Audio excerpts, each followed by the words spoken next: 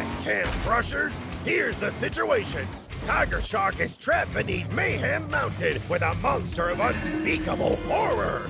It's our job to work together and rescue him so we can finally find out who's headed to the Champions Cup.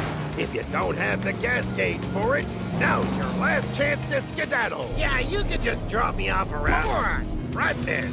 Race Ace? Tiger Shark and I were separated by a cave-in, and a monster is down there with him. So we have to crush our way in, find Tiger Shark, and we're home free. Hot Wheels monster trucks always look out for each other. All right, a good old-fashioned monster hunt.